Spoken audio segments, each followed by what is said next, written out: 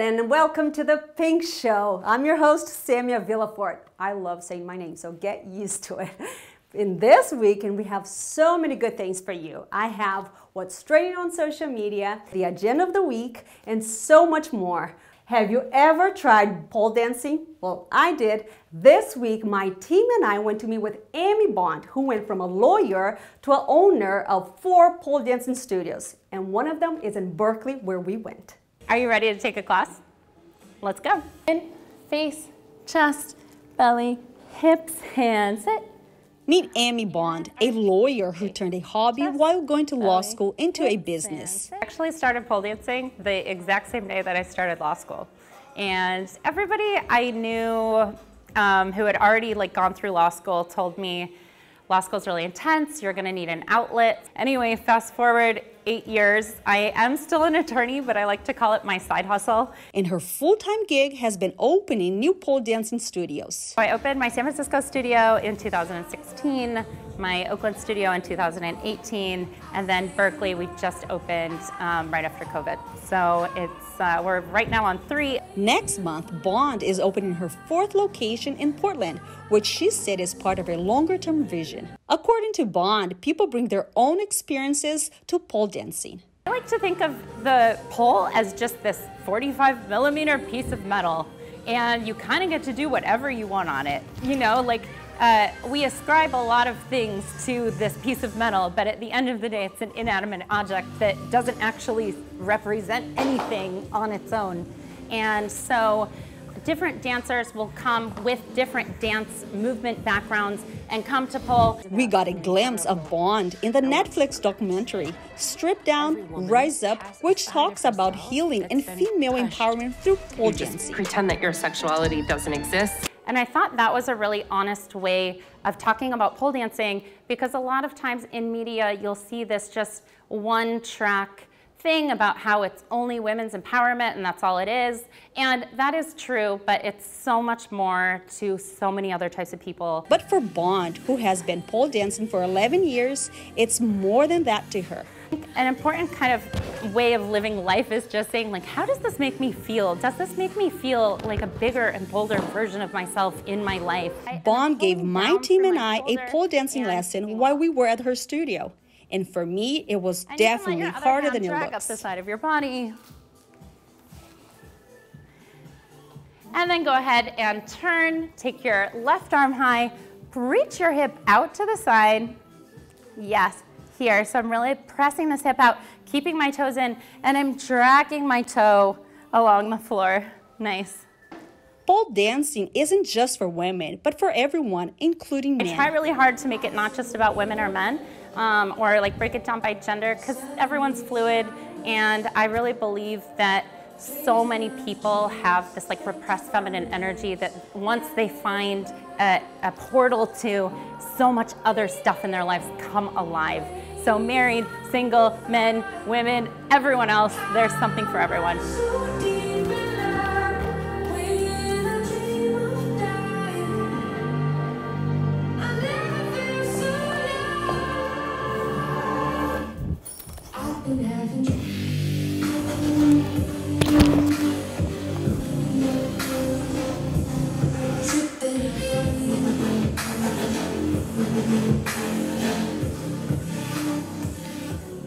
And there's even a scholarship program so everyone who wants to take her classes can.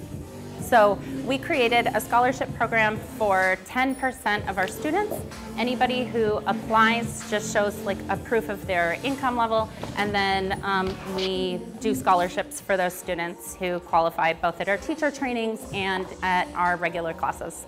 And if you have any cool stories that's going on that you think it's fun, send it to us to the pink show at newsupnow.org. And now let's check what's trending on social media this week.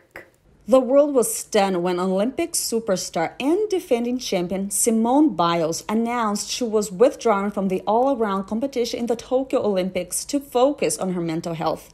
Yeah, I say um, put mental health first because if you don't, then you're not going to enjoy your sport and you're not going to succeed as much as you want to. So it's okay sometimes to even sit out the big competitions to focus on yourself because it shows how strong of a competitor and person that you really are. The announcement came after Biles took a rare stumble on the vault during the team competition earlier in the week. Many, including USA Gymnastics, are applauding her decision and her bravery for making her well being a priority over competing on the world stage. 52? What it do? That's how Jennifer Lopez proclaimed her 52nd birthday this past week on an Instagram slideshow, where she shared several pictures of herself clad in a bikini on a yacht and looking, oh, so fabulous.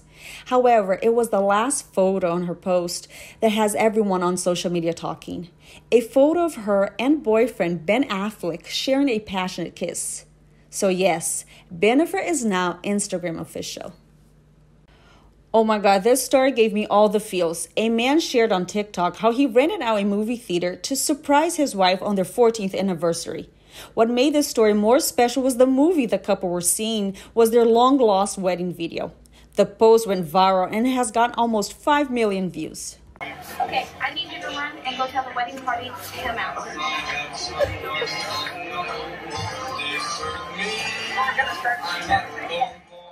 And now we're doing something new here on the Pink Show. We're trying all these fun things that's going on that's super trending on TikTok and on Reels. And I'm gonna give you my thumbs up or my thumbs down. So let's take a look.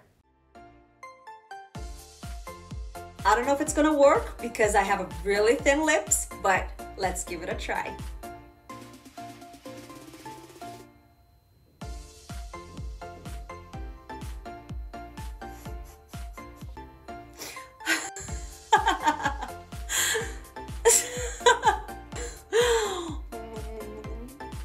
Did not work. Look at this.